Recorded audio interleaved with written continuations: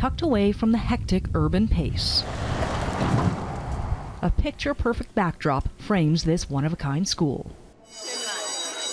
A lot of kids have never left the community to, to know what it's like in, in the outside world. And that challenge is taking them beyond the boundaries of the classroom. Well, we've always wanted to go back to our roots. The hope is to give their students a unique experience. Let's go see if we can connect with Big Red over here.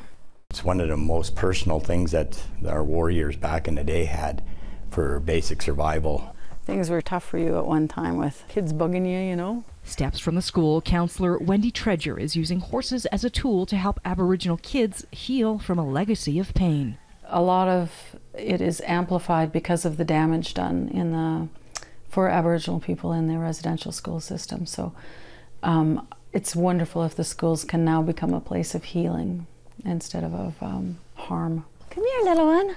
Come on.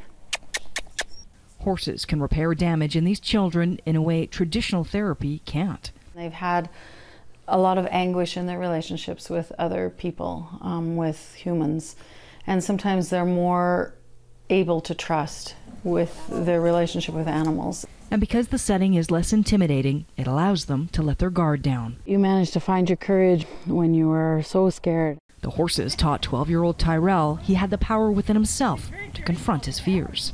I got through with it. It doesn't bother me now. They pick on me all they want. Just walk away with it.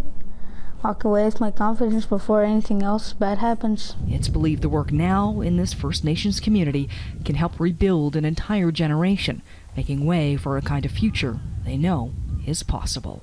I can't really describe it because it's it's unbelievable what a horse can do with a kid. Jill Croteau, Global News.